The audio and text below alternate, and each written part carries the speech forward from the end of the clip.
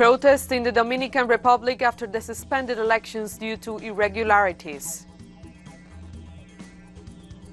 Suriname sees protests against the government of President Desi Bouterse. Syrian government forces have made significant advances in their military offensive against the last major rebel bastion. Hi, from the headquarters of Telesur English in Havana, Cuba. This is From the South. I'm Cristina Escobar. Two people were reportedly killed Sunday night in the Dominican Republic in the midst of protests over the suspension of municipal elections due to a problem with the electronic voting system. The electoral authorities just announced that the elections will be rescheduled for March 15th and only paper ballots will be used. According to the president of the country's electoral body, Julio Cesar Castaño, more than half of the electronic devices for the election did not work properly. Meanwhile, protests and candlelit vigils were held in several cities, including Santo Domingo Este and Villa Progreso.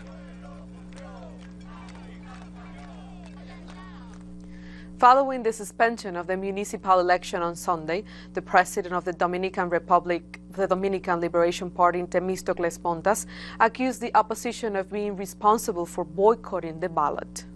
El Partido Revolucionario Dominicano the Dominican Revolutionary Party, the Free Action Party, the Popular Democratic Party, the Christian Democratic Union, and the Pending Revolutionary Party, and others elect sectors announced in front of the national and international community that what what's happening in the municipal electoral process convening this Sunday in the Dominican Republic was an act of sabotage. We had warned that different opposition sectors have been undermining the reputation of the Central Electoral Board as they have worked to discredit and rig this election as it has happened. The Dominican Liberation Party also criticized the Central Electoral Board for suspending the elections. We disagree with the decision of total suspension because if the problem was limited to place with electronic counting system, then we think that the rest of the municipalities using manual counting should be have been allowed to continue to exercise their voting rights as it was communicated to the Central Electoral Board by our Secretary General. Meanwhile, the president of the People's Force Party, Leonel Fernandez, denounced the irregularities in the automated voting system during the municipal elections this Sunday. Unfortunately, those measures that apply anywhere in the world where elections are held with automated voting were not, however, adopted in our country by the Central Electoral Board, neither in the primaries of the 6th of October nor for the municipal elections scheduled for today. And we say in the Caribbean because a large group of protesters gathered outside Suriname's presidential palace in Paramaribo on Monday to demand an end to the government of the National Democratic Party and President Desi Bouterse. The protest started a week ago over increased fuel prices and living costs, as well as the unauthorized use of more than $100 million in commercial banking deposits by the Central Bank of Suriname. Four people, including a trade union leader, were arrested in last week's protest. The unrest comes three months before Bouterse decided to run for re-election. Bouterse was recently sentenced to 20 years in jail for the murders of 15 government opponents in 1982. Canadian Prime Minister Justin Trudeau cancelled a trip to Barbados scheduled for Monday as Indigenous demonstrators and their supporters continue to block train services across parts of the country in opposition to the construction of a gas pipeline. The decision came amid mounting pressure from business leaders and politicians, demanding that the government take a more active role in resolving the crisis, which they claim is damaging the economy and could lead to shortages of propane and other consumer goods. Indigenous Service Minister Mark Miller met for over nine hours with members of the Mohawk First Nation on Saturday.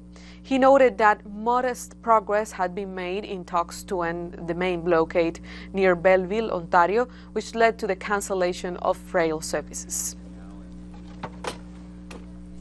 Police in the state of Chiapas in southeastern Mexico launched tear gas at student teachers and relatives of the 43 missing students of Ayotzinapa, injuring at least six people.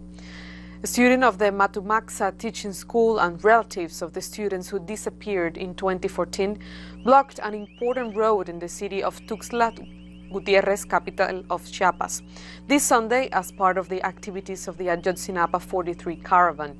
The Committee of Relatives for the 43 students stressed that no protocol was followed as the police launched tear gas at the protesters for an hour, injuring three students, two mothers, and three-year-old girl. More than 60,000 homes remain without electricity in the north of France after the storm Dennis hit Europe. Just a few days after Storm Ciara hit the country, the strong winds and rain brought down trees and damaged electrical services facility in Britain, Normandy and Loira regions, as well as disrupting railway transport. Various departments in the northwest of the country were placed on orange alert, but this was lifted shortly after. And in the United Kingdom, Storm Dennis resulted in severe flooding and rough seas, causing the deaths of at least two people. The Met Office issued more than 250 flood warnings for England, Scotland, and Wales, while informing that the two people who were killed were yet to be identified after their bodies were rescued at sea. A red alert was issued due to the heavy rains and flood risks. Local media reported that rescue teams are working to evacuate people in the south of Wales, where the Met Office stressed that the situation was potentially deadly. And after this break, we take a look at the continued violence in Colombia. Don't go away.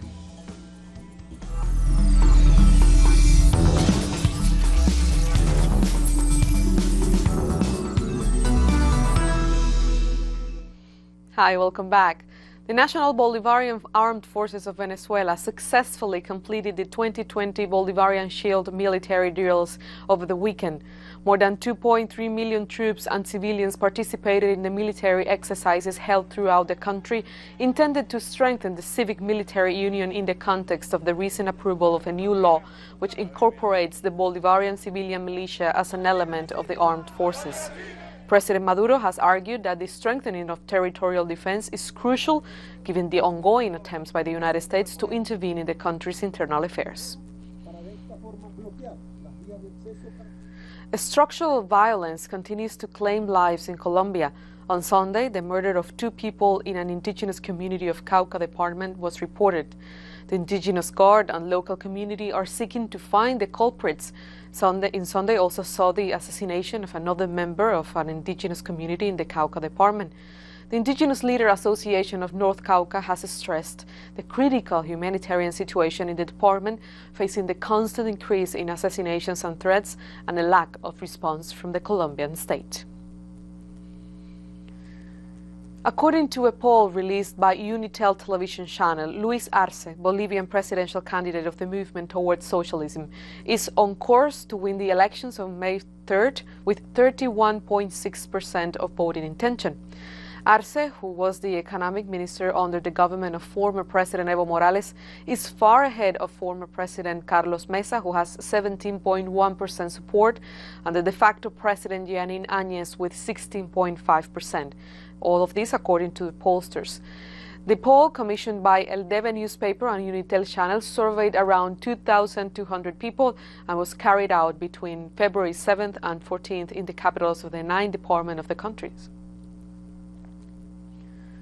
And we continue in Bolivia. Residents of the city of Sacaba, Cochabamba, marked three months since the, since the November 15th massacre of those protesting against the November 15th coup against former President Evo Morales. Families and residents gathered to mark the day when nine men were killed by the military as residents staged a protest on the main road connecting the city of Cochabamba to Chapare province. Local leaders of the movement towards socialism attended the gathering as the victims were remembered as martyrs killed in defense of Bolivian democracy by the de facto authorities. The community believes that justice will only come about if the movement towards socialism returns to power. The General Director of Chile's National Police Force, Mario Rozas, will be interrogated this week of these 30 complaints submitted against him, of which 21 related to lawsuits filed for crimes against humanity. To these are added nine lawsuits for crimes such as torture and unlawful coercion in the context of the widespread anti government protest in the country. Among the, longs, the, lawsuits are cases such as that of Mauricio Fredes, a protester who died from electrocution after falling into a construction pit while fleeing the police, and that of Oscar Perez in a serious condition after being run over the police.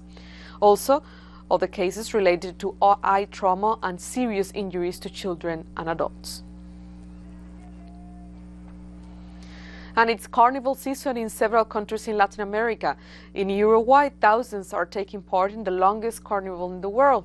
Let's take a look. It's one of the most anticipated parades for all Uruguayans.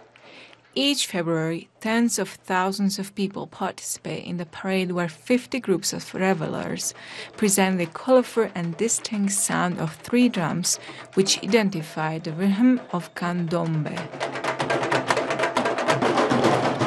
Candombe for Uruguay is almost everything.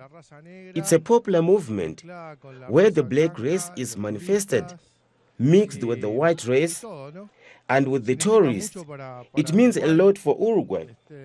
It's typical and the only place in the world where you are going to see it. This year, the parade was organized as a tribute to Julio Sosa Canela, who died in December last year. He was one of the most famous figures of this carnival. It's a tribute to Canela, a person who many years ago lived for candombe. He is a reference for all of us that has presented year after year. Unfortunately, he died recently, but today the celebration goes to that great man, a personality for our culture. Candombe is recognized as an intangible world heritage by UNESCO. The rhythms are an inherited tradition rooted in the slavery era the Africans brought as slaves passed on the knowledge and values of their rich culture and in that process created the characteristic drums of candombe. Este, se preparan y ensayan Today is the Mecca for all candombe players. It is the day when, after revelers prepare and rehearse weekly, they come together in this tradition. You will see and participate in a group of 70 revelers from the whole country. This is a national contest, and candombe today is how Uruguayans are many times recognized. Where there is an Uruguayan, there is candombe. Until a few years ago, and before the increase in the amount of revelers looking to compete for the prize of best presentation, the official parade had been organized for two days. More than 2,000 drums and dozens of dancers walked along the Isla de la Flores street, the main street of the South and Palermo neighborhoods, to enjoy the carnival with candombe in their hearts. We're taking one last break now, but stay with us.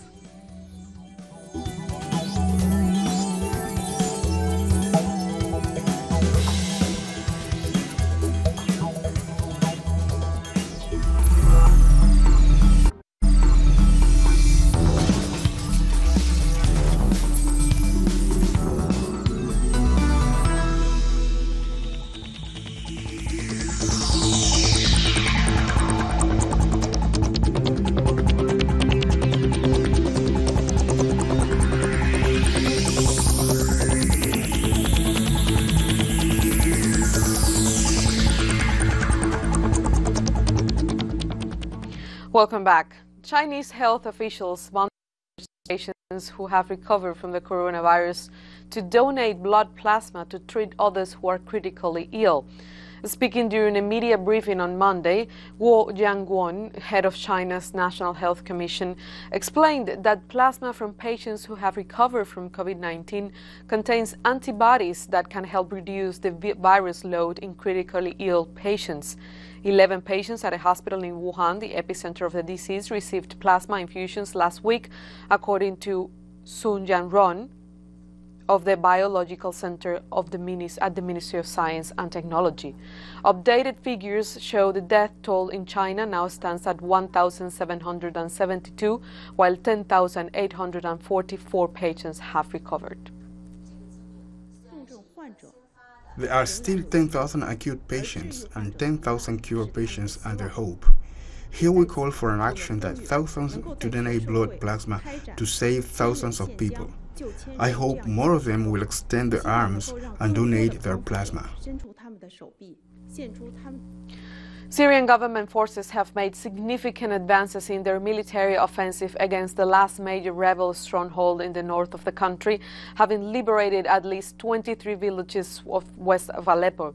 The latest advances come after government forces drove rebel fighters from the key M5 highway linking Aleppo to the capital, Damascus, reopening the fastest route between Syria's two biggest cities for the first time in years. And residents of the northwestern Syrian city of Aleppo gathered in the streets to celebrate recent advances by the Syrian Arab Army as it regained full control of the city. Social media footage showed jubilant residents waving national flags and chanting slogans supporting the forces and President Bashar al-Assad. U.S. Secretary of State Mike Pompeo on Monday committed to supporting the fight against corruption in Angola as he met with President Joao Lourenço. Pompeo arrived in Angola on Sunday night from Senegal, where he started his Africa tour. During a speech, the Secretary of State said the Angolan government's mission to increase financial transparency and combat corruption would be incredibly difficult, but noted that the United States would be by Angola's side in helping to achieve this. Pompeo also commented on plans for a natural gas project in Angola, which could receive around 1 billion US dollars in funding.